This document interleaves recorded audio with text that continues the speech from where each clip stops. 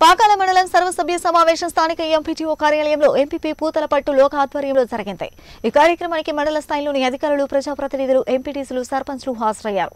ఈ సందర్భంగా పలువురు ప్రజాప్రతినిధులు సమస్యలపై తమ గలం విప్పారు. దామల చెరువు అంగన్వాడీ కేంద్రంలో టీచర్ రాకపోవడం విద్యార్థులు పట్టించుకోకపోవడంపై సర్పంచ్ సునీత ఆవేదన వ్యక్తం చేశారు. వీటిపై ఎంపీపీ లోకనాథం స్పందిస్తూ సమస్యలను పరిష్కారంపై ప్రతి సోమవారం రివ్యూ మీటింగ్ ఏర్పాటు చేయాలని ఎంపీటీఓను ఆదేశించారు. అధికారులు అలసత్వం వహిస్తే సహించబోమని మొక్కుబడిగా పనిచేయడం మానుకోవాలని సస్పెండ్ చేయడానికి కూడా వెనకాడబోమని గతంలో ఎమ్మెల్యే చెప్పిన విషయాన్ని గుర్తు చేశారు.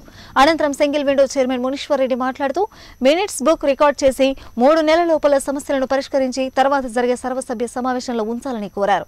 అలా కాకపోతే ప్రజాప్రతినిధులకు సమావేశాలపై నమ్మకం పోతుందని మీటింగ్లకు రావడం మానేస్తారని తెలిపారు. స్టేట్ కూడా. వచ్చినటువంటి ఎంపీడీసీలు అందరికీ కూడా నమస్కారాలు. ముఖ్యంగా ఎమ్మెల్యే ప్రోగ్రాం మొన్న బొన్నారు గారికి ఎండిఓ గారికి ఎంపీపీ గారికి తీసుకువేసి ఆ సమస్యను పరిష్కరించాల్సిందిగా మిమ్మల్ని కూడా కోరుకుంటున్నాం. మనం పంచాయతీ వారీగా పంచాయతీల వారీగా రెవెన్యూ సదస్సులు జరుపుకుంటున్నాము.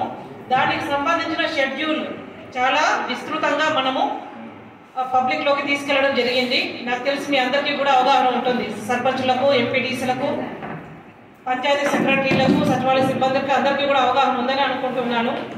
ఆయా ఆయా రోజుల్లో ఎప్పుడైతే రెవెన్యూ వాళ్ళందరూ వస్తున్నారో ఆయా రోజుల్లో మీరు పబ్లిక్